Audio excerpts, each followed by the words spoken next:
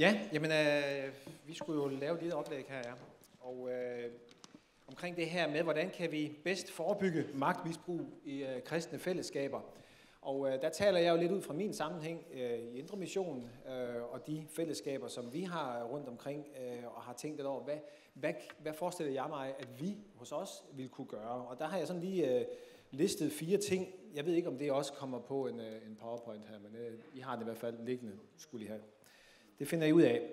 Det første, øh, jeg tænker, det er, at vi skal være gode til at adskille øh, kernetro og kultur. Altså det, som er centrum, og det, som er periferi i, i det, vi tror på. Vi skal gøre os klart, hvad, hvad, der er, hvad der er ikke, hvad skal man sige, er, er fuldstændig grundlæggende, og så hvad der kan diskuteres. Øh, vi, forkynder, vi forkynder en personlig relation til Jesus Kristus. Vi forkynder ikke mødeformer, vi forkynder ikke øh, øh, leder, bestemte lederidealer, men vi forkynder noget af frihed. Øh, jeg kan huske, da jeg, da jeg var ung, der blev der meget diskuteret, hvad for en slags musik man måtte spille og sådan nogle ting. Og jeg tænker, at det var i hvert fald en diskussion, jeg tænkte ikke rigtig kunne finde ud af at holde kerne, kernen af troen, og så øh, alt det udenom kulturen adskilt.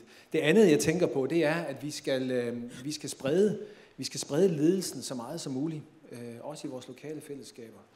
Øh, altså, vi skal gå efter stor variation, både i, i, i typer og og alder og så videre, øh, undgå, at der, at der er ganske få ledere, som kommer til at tegne hele butikken, øh, og på den måde bliver fristet til at komme til at spille for stor en rolle, eller indtage i sådan en, en, magt, en magtposition.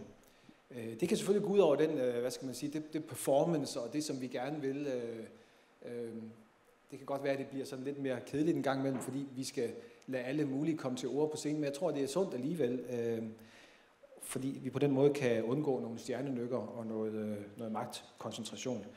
Og så tænker jeg for det tredje, vi skal, så skal vi være gode til at skabe rum for, øh, for kritik og for debat.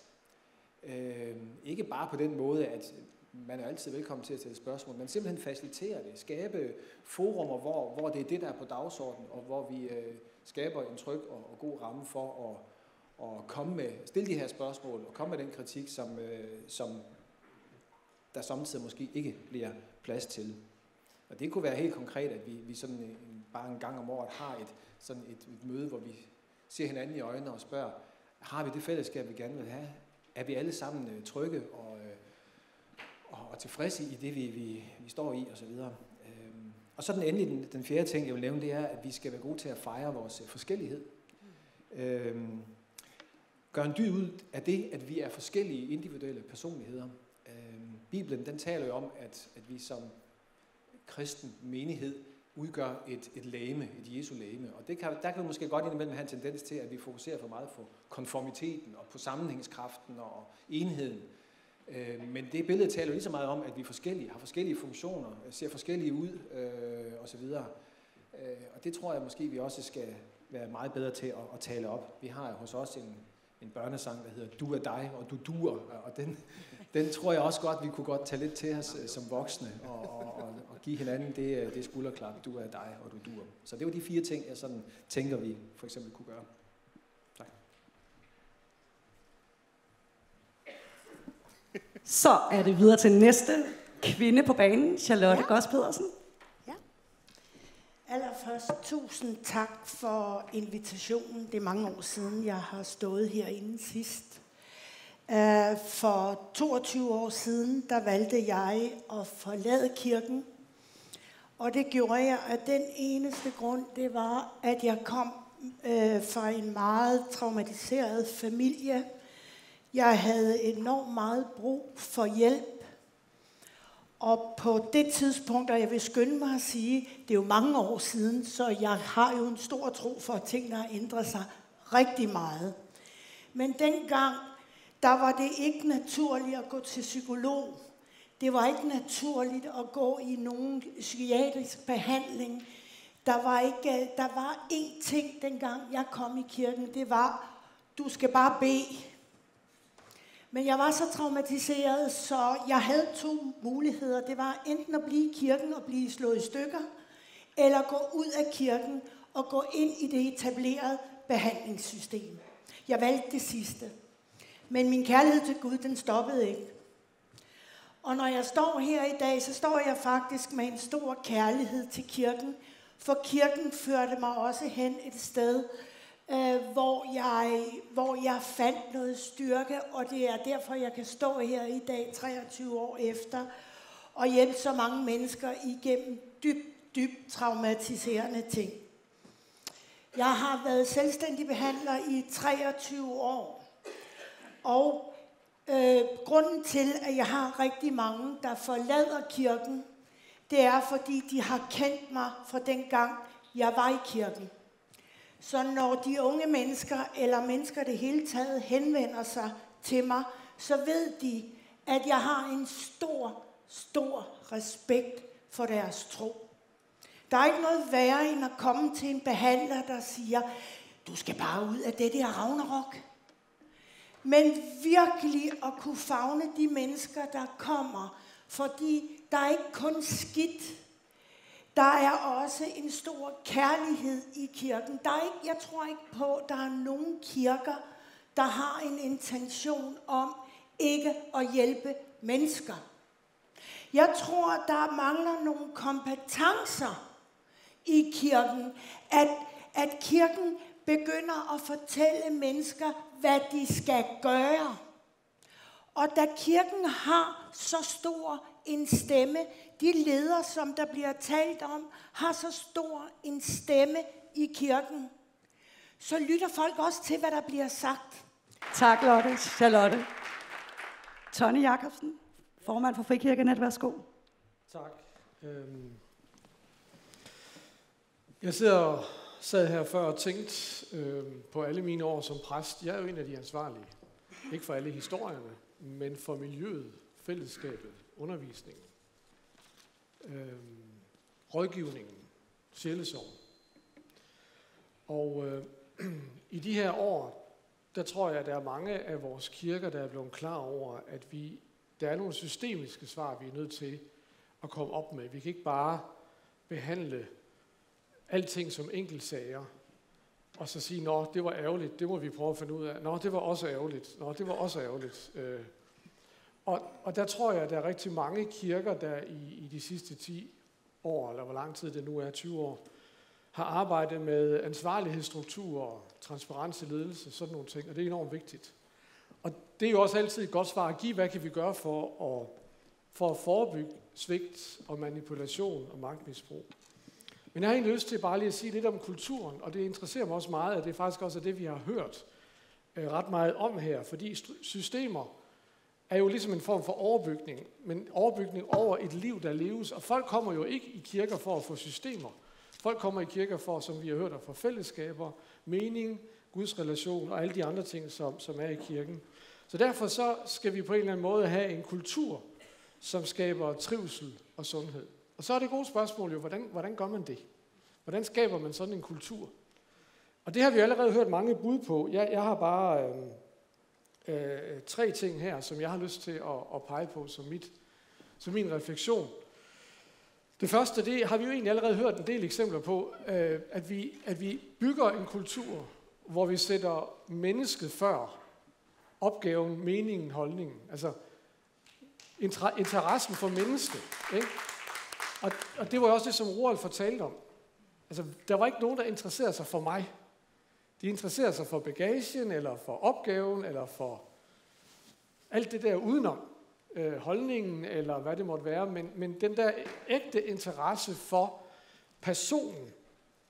Og det burde jo være fuldstændig næsten selvindlysende i en kristen kirkelig sammenhæng, fordi vi tror på, at mennesket er uendelig værdifuldt.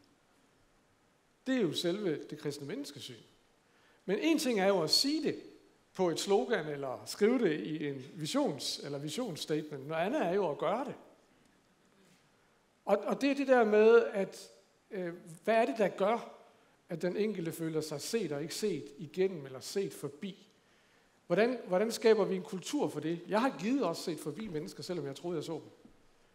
Men vi må i hvert fald have intentionen om at ville det. Og også ville det med dem, som, som, som er et helt andet sted, end vi er. Øhm, og så det andet, det er måske ret oplagt, men alligevel. Altså det der med de dobbelte standarder, at vi modarbejder det meget bevidst. Og det er klart, jeg kan jo ikke som leder modarbejde det, hvis ikke jeg modarbejder det i mit eget liv. Øhm, og jeg synes, jeg har den erfaring, at hvis, hvis der er nogen, der er meget, meget øhm, dedikeret i, i betydningen, at det er meget sort-hvidt, det er fint, man er det som teenager, det skal man have lov til at være. Øh, men der skal være nogle voksne omkring. Men, men sådan længere hen i livet, så, så bliver jeg tit, tit øh, sådan mistænkt som, om der ikke er en skyggeside et eller andet sted. Fordi det synes jeg efterhånden livet har lært mig. Øhm, men hvor, hvor hvis jeg møder et menneske, som, som også ejer sin skrøbelighed, ikke som er sådan noget med, med, med, med igen med, øh, med, med Bjørn, øh, hvad hedder det, de der historier med at have en kvinde i hver havn, det er ikke det, jeg mener, men den der menneskelige skrøbelighed, at, at det ikke ligesom bliver så øhm, øhm, præcist, sådan her er det, her er alle svarene, men at vi også som ledere er gode til at udtrykke tvivl om det, som vi ikke har svar på. Fordi der er nogle ting, vi har svar på, det mener vi. Det er jo det, som du kalder kernen. Men der er også rigtig mange ting, hvor man må sige, når man spørger, hvad skal jeg gøre her som skuespiller? Hvor langt kan jeg gå i en film? Jamen det kan du ikke slå op nogen steder. Der er nogle kerneting, og så må man jo lære at have sin tvivl. Og finde ud af, hvordan navigerer jeg i det liv, jeg har. Øh, og, og hvis man har for mange sikre svar, så er der en fare måske for, for, for dobbelte standarder. Og så det sidste, det er, øh, specielt måske i, i kirker, hvor vi har høje idealer, så skal vi være opmærksom på, at de har sædvanligvis også skyggesider. Og det er jo ikke fordi, vi så skal holde op med at være idealister. Øh, men der findes, som vi også allerede har hørt, et ideal tyranni, som er, er ødelæggende. Vi har brug for, jeg har brug for at ville noget, tro på noget, give mig selv til noget, være med i noget, der er meningsfyldt. Men jeg skal også være opmærksom på, både for mig selv og for andre, at det aldrig må være skamfuldt, øh, men frisættende. Og hvordan, hvordan gør man så det? Nu skal jeg nok være færdig. Jeg tror i hvert fald, noget af det, jeg har lært selv, det er, at hvis jeg selv er åben omkring der, hvor jeg selv svigter mine egne idealer, så er det også nemmere for andre at være åbne omkring, hvor de svigter deres idealer. Så vi både har idealerne, men vi har også realismen med i vores omgang med idealerne. Det nemmeste i verden, det er at stille sig op på en talerstol og ophøje, fremholde et højt ideal. Men det der med at være ægte, det er en noget større kunst. Tak, Tonje. Så har vi Josef Berg. Værsgo, Josef. Tusind tak. Da jeg var 17 år, der havde jeg mit øh, første møde med Gud. Det øh, troede jeg øh, ikke, at det var muligt. Det vendte fuldstændig op og ned på mit liv. Det var meget øh, speciel og øh, fantastisk oplevelse for mig.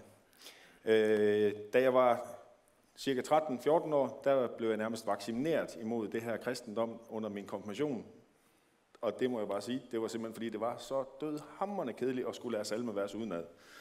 Så øh, det der med Gud, det var bare flækken ind om mig. Jeg er opvokset i en familie, hvor min, øh, hvor min mor hun tog sit eget liv, da jeg var et år. Jeg levede sammen med min far, der var alkoholiker, og blev fysisk, psykisk og seksuelle overgreb, indtil jeg var 13 år og stak af og kom på børnehjem.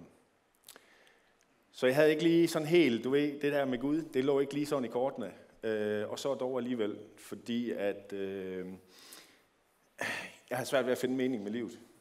Og tænkte flere gange, at øh, ligesom min mor, så øh, skulle vi lige så godt få det overstået. Så da jeg var 17 år, og jeg fik et personligt oplevelse med Gud, så ændrede det fuldstændig mit liv. Og der åbnede sig en ny verden.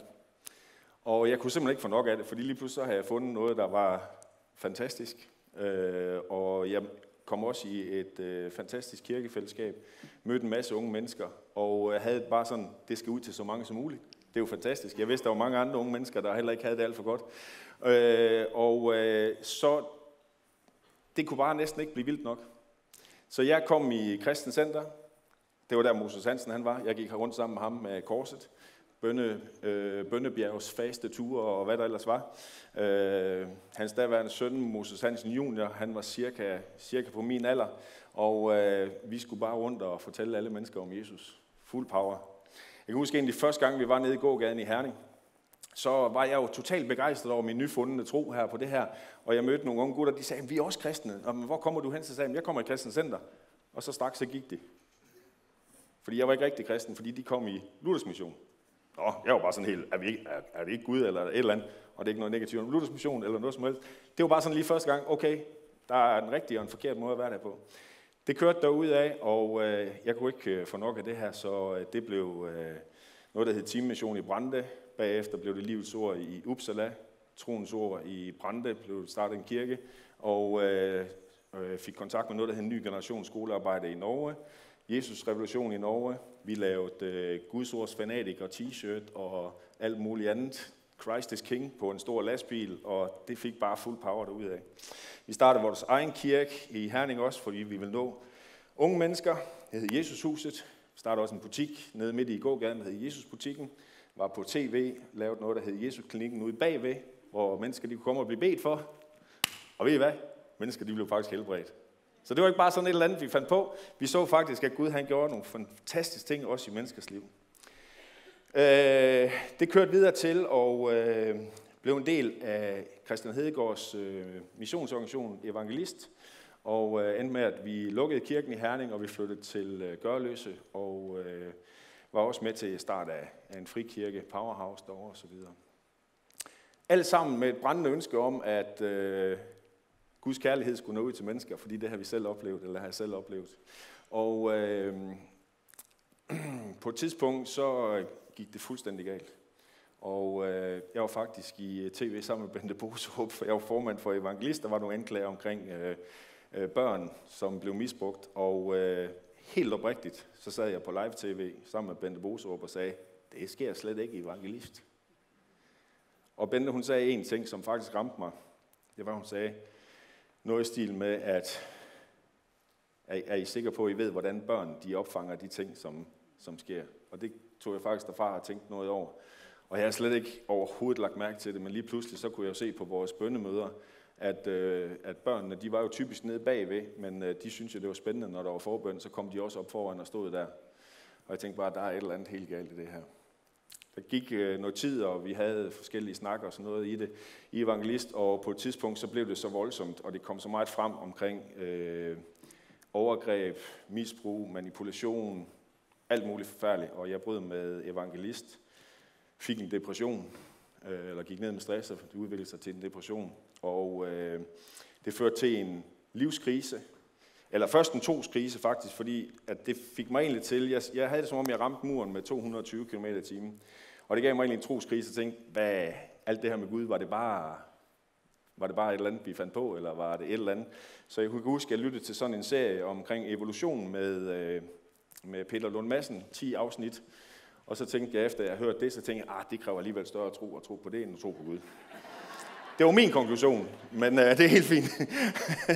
så det der med Gud, det var faktisk helt okay, men øh, jeg havde godt nok svært med lige med det der med øh, og kirke. Jeg forsøgte faktisk også at komme i noget kirke.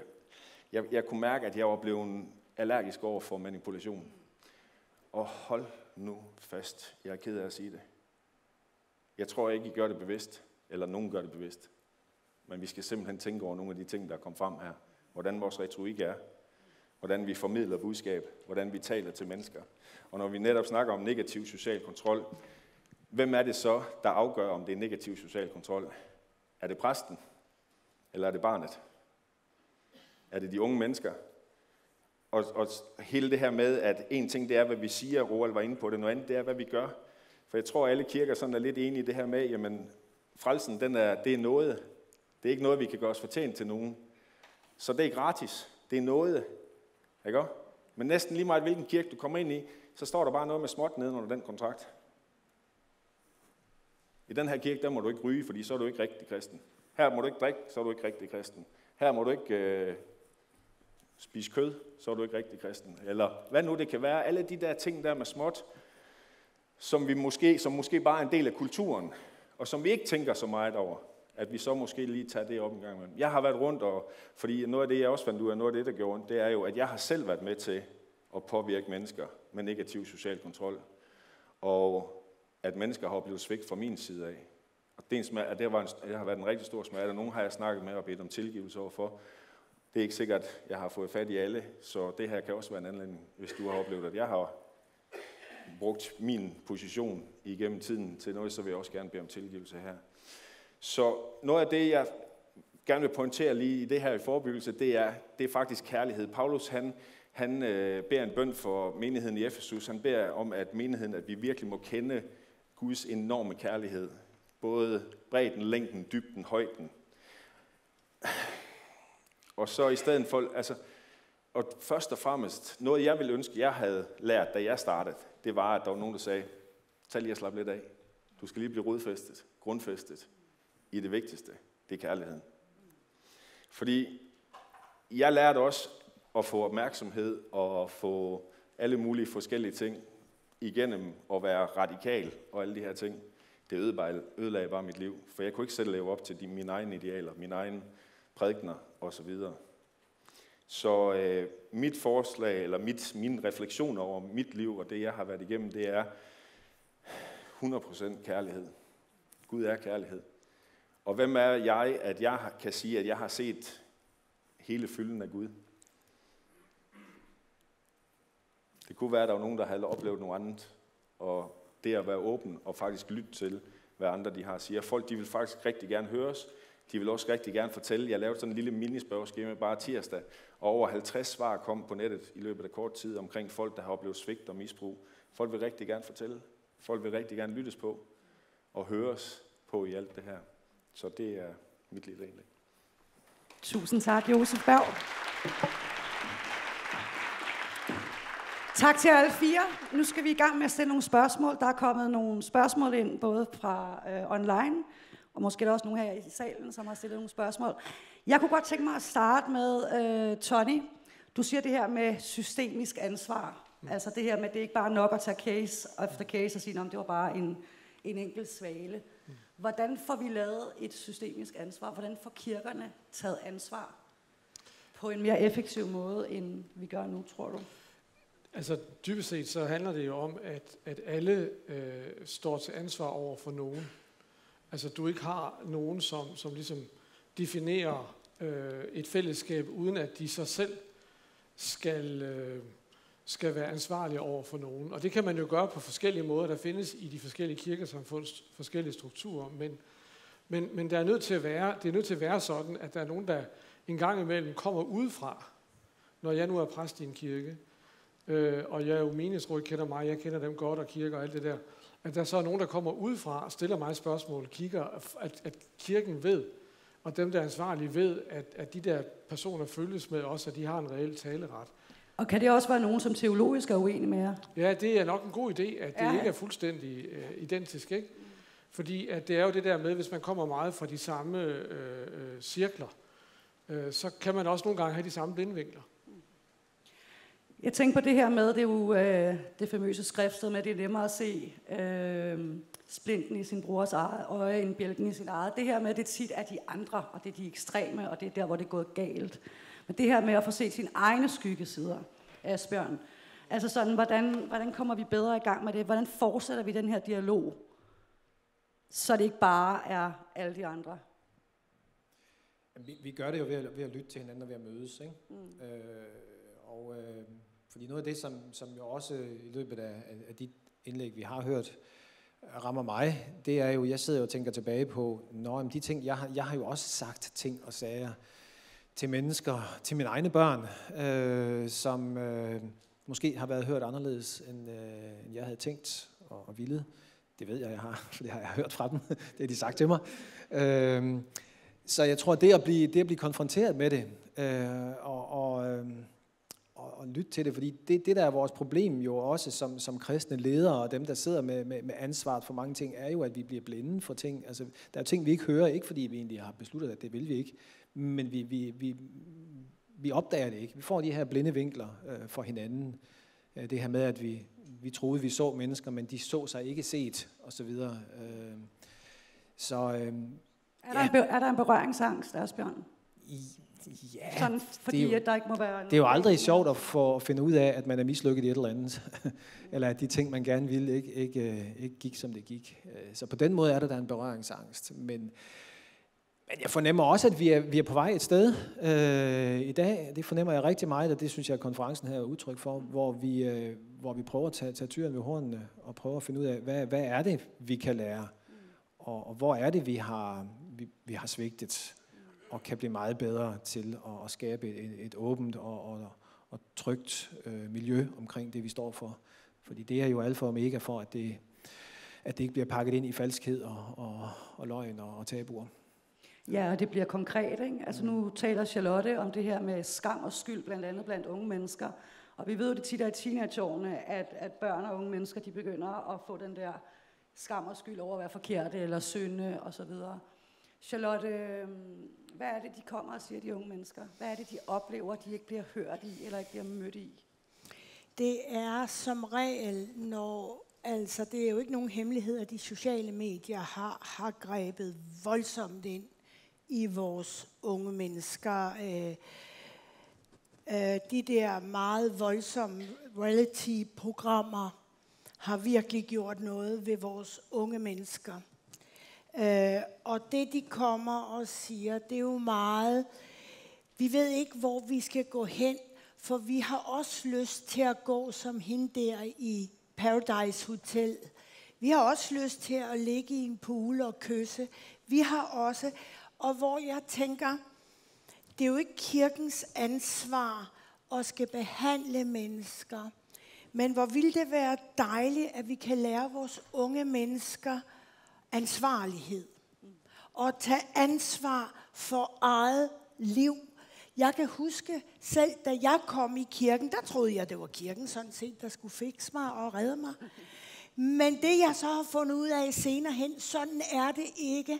Og den gruppe unge mennesker, jeg arbejder med, der handler det meget om ansvar for eget liv. Ansvarlighed for, hvad putter vi ind i, i os. Ikke i fordømmelse, men med en dyb respekt og kærlighed. Men Lotte, kan det ikke være svært, hvis man så oplever, at man nu har lyst til at rende rundt i bikini som ja. Paradise, og man tænker, i min kirke, hvis nogen vidste, hvad jeg tænker, at det, hvordan kan man tage ansvar? Men det er jo det, er jo, det, er jo det at jeg håber på, at, at kirken kan blive bedre til at få en accept af, hvad er det for en magt, de sociale medier har over vores unge mænd, ja også over mange i min egen alder. Øh, hvad er det for en magt, de sociale medier har? Hele den reducering, der sker på de sociale medier, man bliver lige pludselig tynd og ung, og man bliver alting på en gang. Og det er virkelig noget, de unge mennesker gør brug af. Jeg har, jeg har en del gående hos mig fra de der reality-programmer. De er helt ødelagte. Men det ser, det ser dem, der ser programmet, ikke. Og jeg tænker, jeg tror, det er så vigtigt, at, at, at man får en forståelse af kirken. Det er ikke kirken, der skal ind og behandle de unge mennesker, men der skal betales om en åbenhed om de ting, der foregår øh, øh, i, på nettet og rundt omkring. Ikke? Tak, Charlotte. Så der kommer nogle spørgsmål her fra, øh, fra publikum og fra øh, online her. Og det i forhold til det her med, nu den her konference i dag handler jo om at kigge fremad. Men hvad med de sår, der allerede er påført? Jeg er selv en af dem, der er blevet såret. Jeg har også selv såret mennesker i kirken. Josef fortalte sin historie, Lotte, der sidder andre her. Hvad kan vi gøre? Skal vi, skal vi kun kigge fremad, eller er der også noget, der skal læses? Er der noget, der skal ryddes op i? Tony? Ja, undskyld. Ja. Så, øh, og, og man kan jo ikke man kan jo ikke bare gøre det sådan i et eller andet øh, snuptag, så har vi hermed fikset det. Øh, det er jo nødt til at gøres øh, i mødet med konkrete mennesker. Og øh, jeg tror, de fleste, øh, der har ledelsesansvar i kirker, har, er kommet i situationer, hvor nogen er blevet såret, eller de selv har såret nogen, eller nogen kommer og gør opmærksom på, at man selv har såret nogen osv. Og, og, og det er jo sådan en, en, en grundting, synes jeg, Altså, vi beder fader, hvor forlader os vores skyld, som også vi forlader vores skyld. Altså, man bliver ligesom ledt til hele tiden at være erkende sin egen, sit eget behov for tilgivelse. Og det kan jo ikke bare være abstrakt, det er også nødt til at være konkret. Og, og det, er, det handler jo om for mig, at man tager ansvar. Og så igen det der med, at vi, at vi er oprigtigt interesseret. Altså vi skal ikke bare fikse. Og det skal heller ikke lede et bestemt sted hen. Altså det kan godt være, som nu når Roald og, og, og Michael snakker sammen, og Michael gerne vil, øh, du ved, lede Roald tilbage til en kristen tro. Det kan være, at han kommer det, det kan være, at han ikke kommer det, men det er sådan set ikke det, der er sagen. Sagen er, at der er en reel samtale mellem reelle mennesker. Ikke? Og det er jo klart, at jeg har jo ikke uendelig altså, tid til at snakke med alle mulige, men jeg må, jeg må gøre det, jeg kan. Øh, og, og, og, og, og der er det klart, at hvis folk forsøger, og de så bare støder på den der, nej, nu må vi se fremad, det er jo ikke godt nok. Det er nok ikke helt nok i hvert fald. Nej. Hvad tænker du om det samme spørgsmål, Asbjørn? Jeg lige tænke på, på øh, øh, lignelsen der med, med den, øh, den barmhjertige samaritaner, som, øh, hvor, hvor Jesus jo skal tælle, fortælle om, hvem er min næste. Ikke også? Altså, vi kan jo ikke, min næste kan jo ikke være hele verden. Jeg kan ikke redde alt. Øh, men jeg kan jo øh, åbne mine øjne for dem, jeg kommer forbi, og dem, som krydser min vej. Og, og, øh, og der tænker jeg, at der, der, for, for mig, det jeg, det jeg tager til mig, det er jo, at jeg skal simpelthen øve mig i, i en ydmyghed over for de mennesker, jeg, jeg kommer og der, der krydser min vej, og som kommer til mig, og som også øh, konfronterer mig og udfordrer mig med nogle af de her ting. Jeg skal øve mig i at være, at være nysgerrig over for det, i stedet for, øh, som vi meget hurtigt kommer til at gøre, gå i forsvarsposition og øh, sige, jamen det var jo også fordi, eller der er sikkert også en anden side af historien, og hvad vi nu ellers kan finde på at sige. Men øh, oprigtigt lyt til det, og så, og så tage det til sig, øh, og vente med, med, med, med de mennesker, som, som jeg har omkring mig. Altså, det er jo det, jeg kan gøre, og det er også det, jeg kan være med til at talesætte ind i de miljøer, jeg har, øh, jeg har med at gøre. Mm. Øh, vi, kan ikke lave, vi kan ikke lave det ugjort, som er gjort, men vi kan jo øh, sige undskyld, der hvor, hvor vi får muligheden, hvor vi, hvor vi bliver gjort opmærksom på det, øh, og det skal vi gøre med, med stor ydmyghed, og lade være med at forklare alt muligt, øh, fordi det, øh, det er ikke det, der er brug for. Vil du også kommentere på det, Charlotte? Eller? Ja, Hvad det? jeg tænker meget på, øhm, jeg tænker, jeg har rejst en del i USA, og i USA er det, er det faktisk obligatorisk i menighederne at have et 12-trins program. Jeg ved, den her kirke var den, der startede øh, at have 12-trins programmet. Øh, og jeg ved ikke, om de har det stadigvæk. Det har jeg desværre ikke lige fået lavet research på. Men jeg kan huske, da det startede.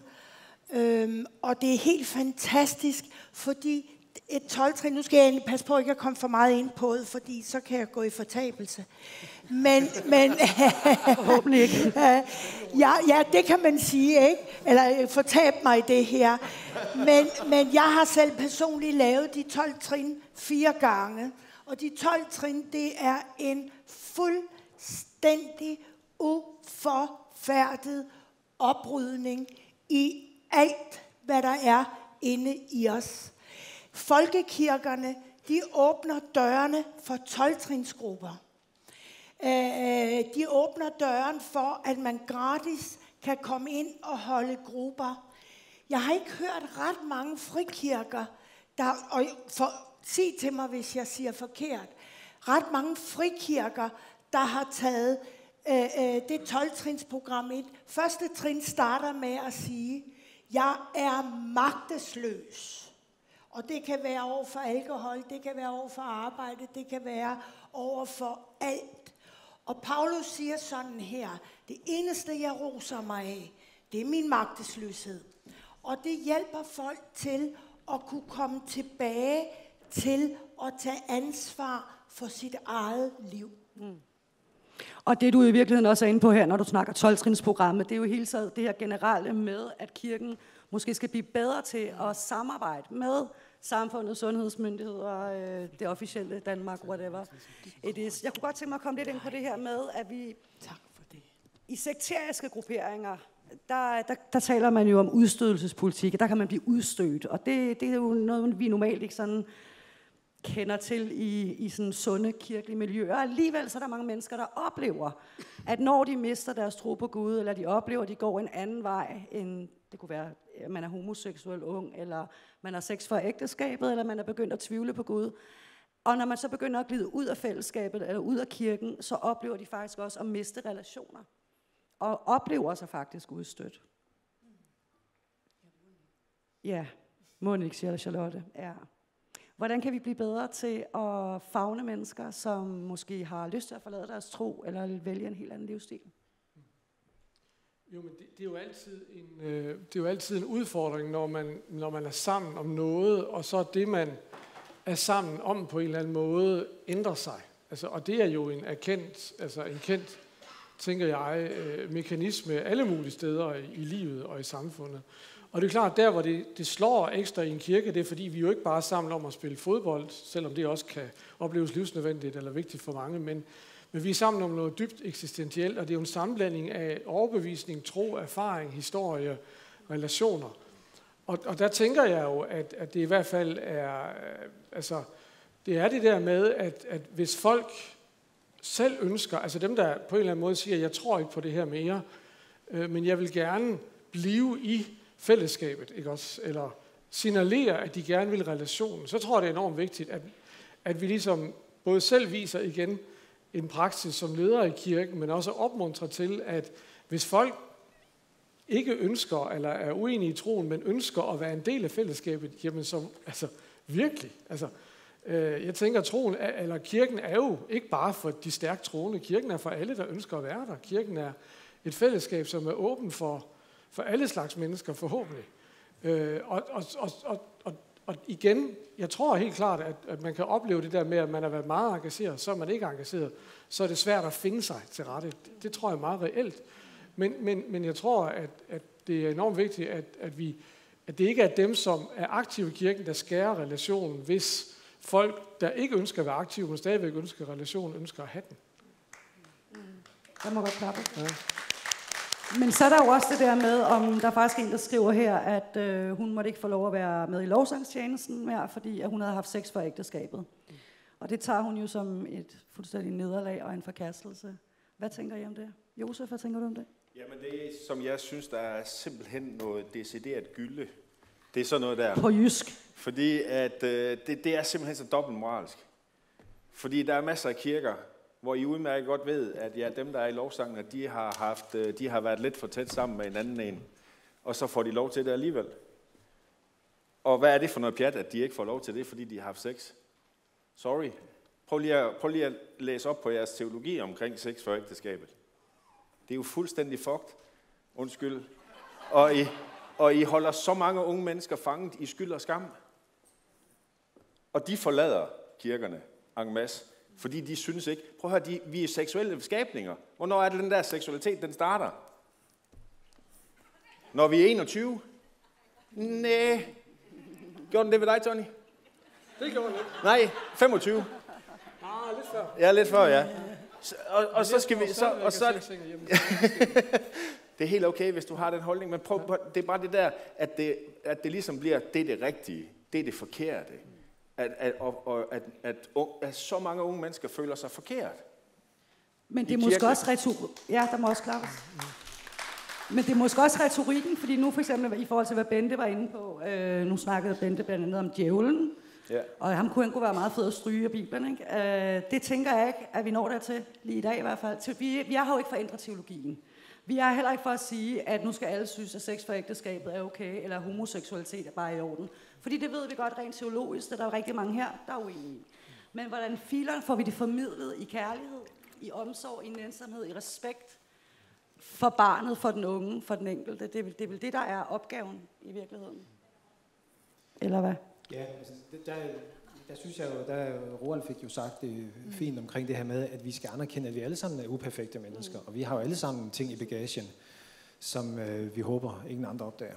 Øh, så altså, hvis vi begynder at trække nogle, nogle, øh, nogle moralske standarder ned over hinanden, øh, som vi alligevel ikke vil kunne leve op til, hvis alt kom for dagen, så, så er vi i hvert fald inde i noget dobbeltmoralsk. Det er jeg fuldstændig enig i. Øh, så altså, vi, vi, har, vi har brug for at, øh, og, øh, og, øh, og i talesætte det, at vi er, altså, eller modarbejde den her perfekthedskultur, som, som vi jo nemt kan pege på sådan ude i, i, i det her iscenesatte og samfund omkring os, men som jo altså også titter hovedet frem i, i vores egne sammenhæng. Og, øh, jeg, jeg, jeg hører, blandt andet, jeg hører til dem, der, der mener, at sex hører hjemme i ægteskabet. Det, er helt, det står jeg fuldstændig ved. Men det betyder ikke, at jeg ikke, at jeg ikke kan, kan fagne og bruge og, øh, og, og inkludere øh, mennesker, som, øh, som ikke har øh, det syn, eller som af forskellige grunde øh, er havnet i, i en anden situation. Øh, og det skal vi jo kunne. Altså,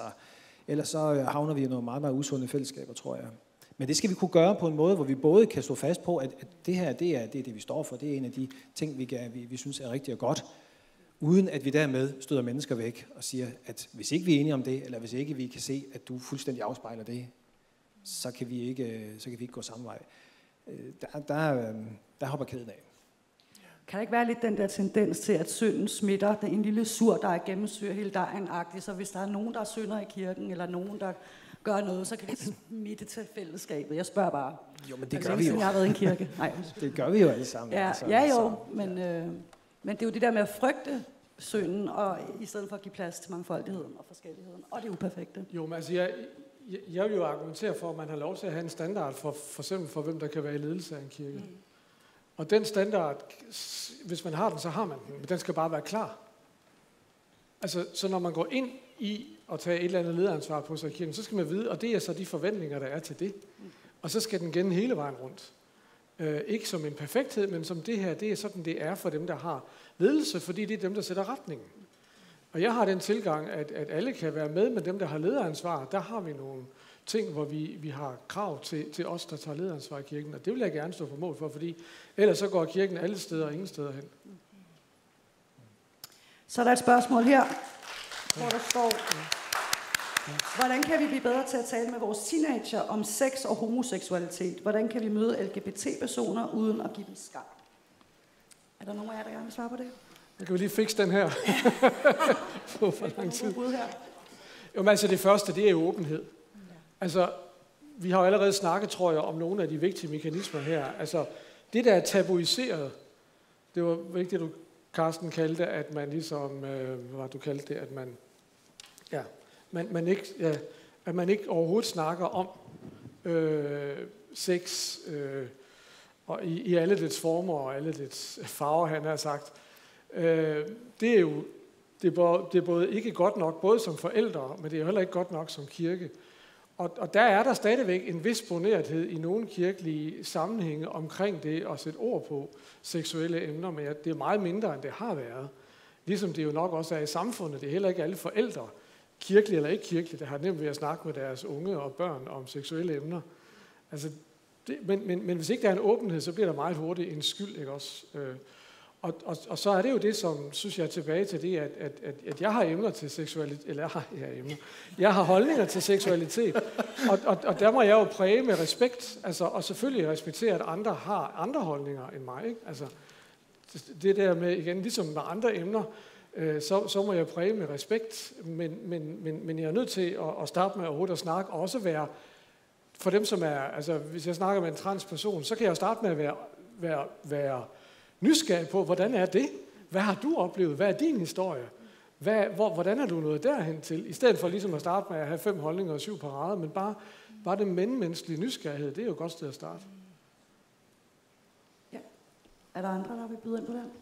Øh, Jeg kunne godt tænke mig at lige byde ind på den. øh, Jeg tror meget på at være tydelig, når vi snakker seksualitet med unge mennesker, og som du nævner, nysgerrig. Og så er der en anden ting, som er rigtig, rigtig givetigt i forhold til, når man snakker sex med, øh, med unge mennesker, det er at være meget visuel og tale i billeder. Når man, øh, når, man, når, man, når man skal hjælpe dem med. Jeg kan huske, jeg havde en ung pige, og hun, det eneste, hun drømte om, det er at have sex med en mand, for det havde hun set i Paradise Hotel. Så siger hun, tænk nu, hvis du fik 15 roser. De her 15 roser, dem kan du give væk til alle dem, du gerne vil have. Og hver gang du har sex med en, så skal du give en rose væk. Og lige pludselig en dag, så står Mr. Right foran dig. Så har du ingen roser. Hvad skal han så have? Ej, sagde hun. Jeg skal da ikke have givet de roser væk nu. Okay. Det er noget med at lege det ind, noget med at tale visuelt ind, og få mennesker til at forstå, det er deres ansvar. Så øhm, ja, vær tydelig. Yes. Og så, øh, vi, altså vi når desværre ikke alle spørgsmål. Tiden er ved at løbe fra os. Men hvis vi skal begynde at sådan runde lidt af her i forhold til, hvordan vi fortsætter den her dialog. Hvordan fortsætter vi den her samtale? Der er en, der spørger, hvor kan vi stille de her spørgsmål i fremtiden? Ja. Det er meget godt spurgt. Det er et godt sprog.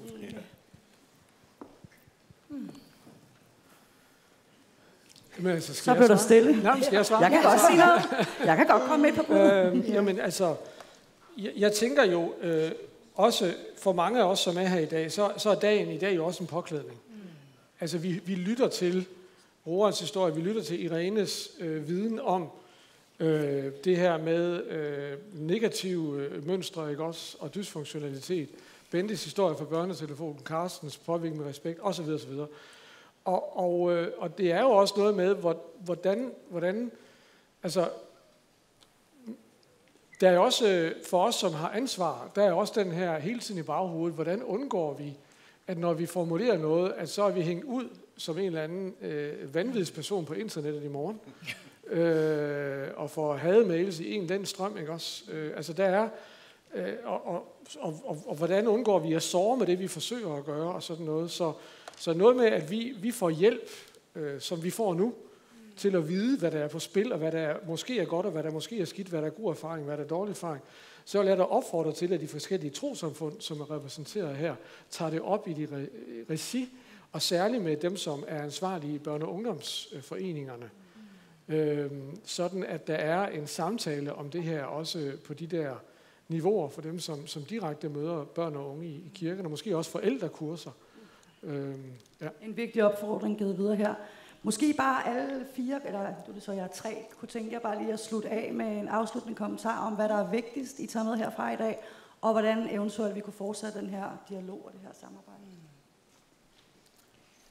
Og jeg, jeg synes selv, jeg er lidt på vej i det her. Altså, jeg, jeg suger til mig i dag øh, fra det, der, det, vi lytter til, og, og snakken her og så videre. Og, og jeg, jeg må indrømme, jeg har ikke lige sådan en, et klart billede af, hvordan hvad lige næste skridt er. Enten at vi selvfølgelig skal evaluere på, på, på det, vi har, vi har fået med herfra, og vi skal selvfølgelig finde ud af, hvordan vil vi tage action på det hos, hos os i de sammenhæng, jeg har, jeg har med at gøre. Øh, det, må være det, det må være det næste skridt. Og øh, ja, jeg ved, at vi, øh, jeg ved, i hvor vi, det blad, som jeg er redaktør for i Indre Mission, vi har, øh, vi har Impuls, vi har det som tema øh, i vores næste nummer, der kommer næste uge.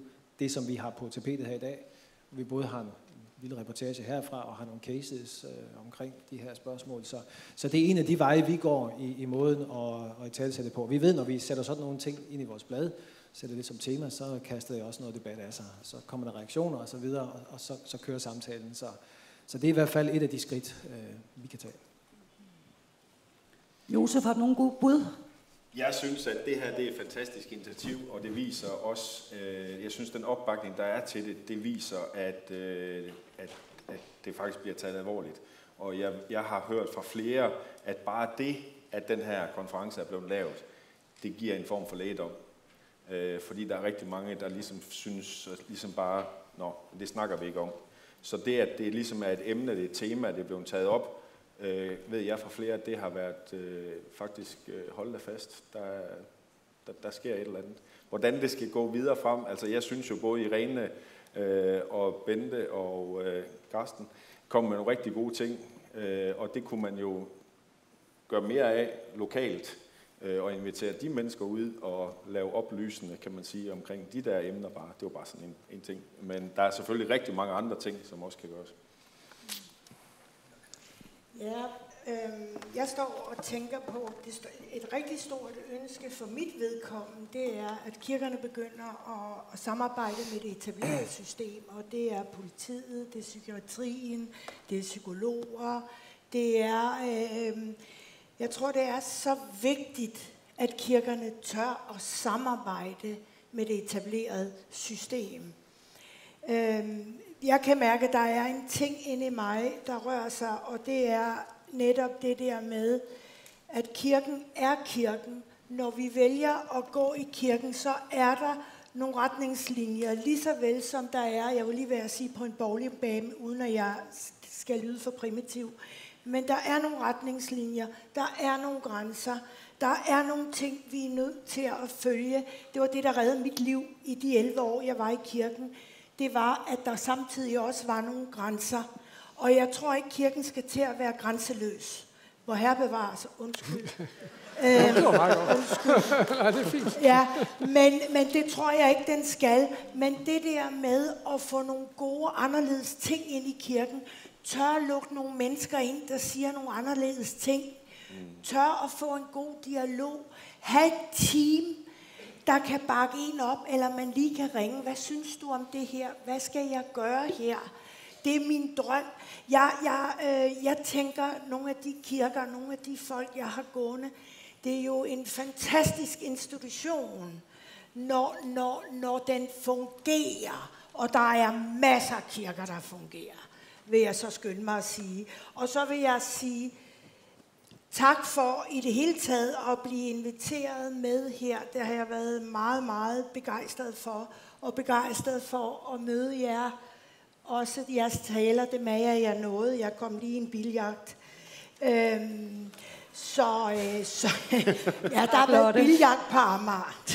biljagt på Amager. Ja. Tak. Og tak til vores fire Ja. deltagere her. Tusind tak.